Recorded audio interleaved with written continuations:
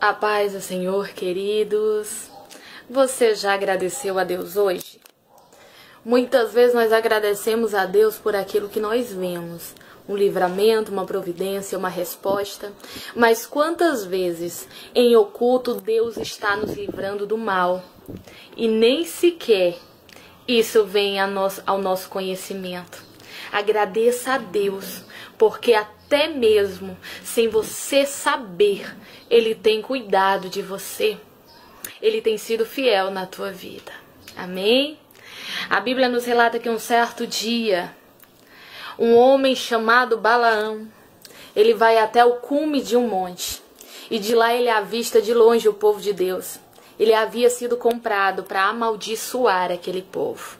E quando ele abriu a boca, ao invés de sair palavra de maldição, ele começou a abençoar.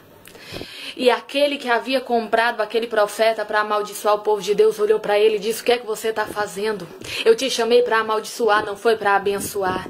Ele olhou e falou: Mas eu não tenho poder para amaldiçoar a aquilo que Deus já abençoou. O Senhor, Ele manda te dizer: na tua vida não é diferente. Quando o mal se levanta para tentar te destruir, para tentar te amaldiçoar, para tentar levar a ruína aquilo que é seu, já há uma promessa de vida na tua história, já há uma promessa de libertação, já há uma promessa de cura, já há uma promessa de transformação. Sabe por quê? Porque o Senhor manda te dizer: não te preocupa, porque nenhum mal chegará até a tua tenda.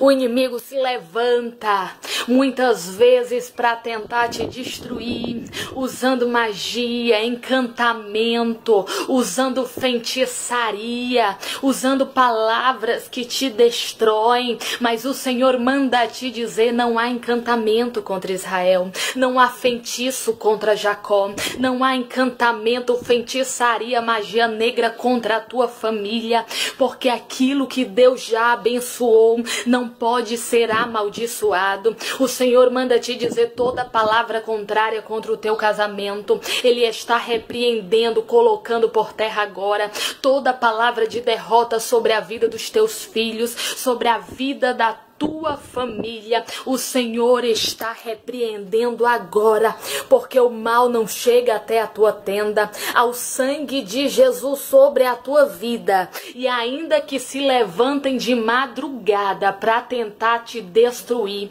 pela manhã Deus levanta para te dar vitória. Pela manhã Deus levanta para te abençoar.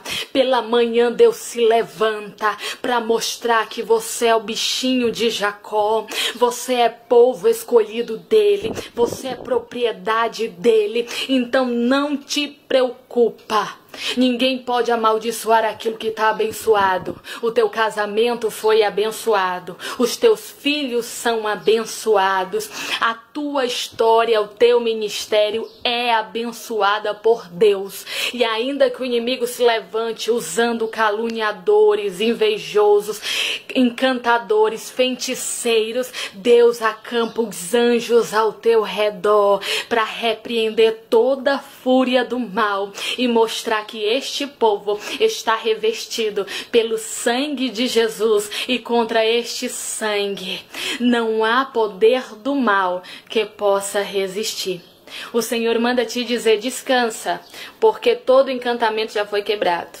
Toda maldição já foi quebrada na cruz do Calvário e todo aquele que está debaixo desse sangue conta com a bênção do nosso Deus.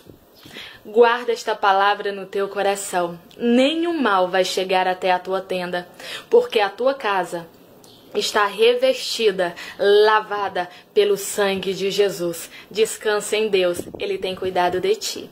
Amém.